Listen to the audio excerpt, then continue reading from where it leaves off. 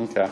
So it is 15, 16 years old. Right around that. Mm-hmm. Yeah. Mm-hmm. And most roofs shouldn't be, you know, a, a good shingle roof should easily last 20 to 25, but from an inspector, they're kind of saying that it's kind of nearing the end of its life. Gotcha.